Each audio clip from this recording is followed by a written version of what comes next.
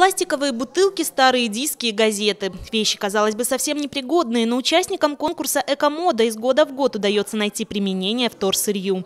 Парни и девушки команды экологических отрядов и трудовых бригад Щелковского района вновь демонстрируют коллекции одежды и аксессуаров на сцене молодежного центра «Навигатор».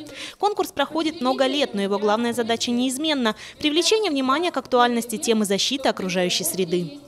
Конкурс «Экомода» клуб «Ровесник» проводит ежегодно. И проводится это уже больше 20 лет. А, главная цель этого конкурса, конечно, а, привлечь ребят к проблемам экологии.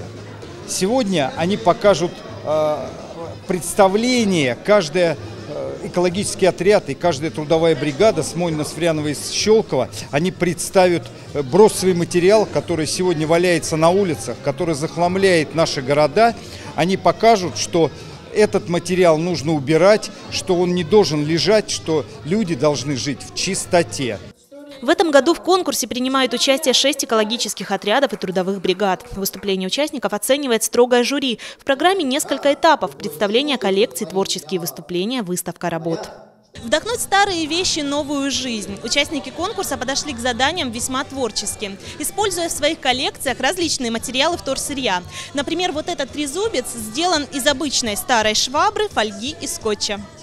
На этот раз основной темой показов стали сказки «Снежная королева», «Кикимора», «Конфетная фея» и другие персонажи. В своих коллекциях участники экомоды представили образы известных с детства героев любимых сказок.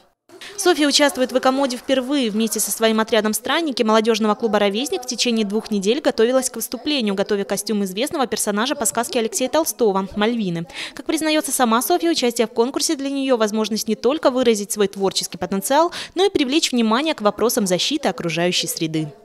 Взять старые вещи и воплотить э, как бы, что-то новое, дать им новую жизнь, второй шанс.